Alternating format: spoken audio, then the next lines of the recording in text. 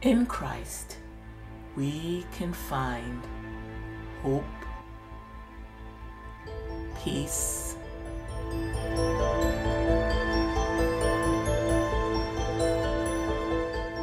serenity,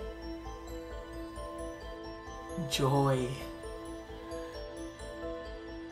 laughter,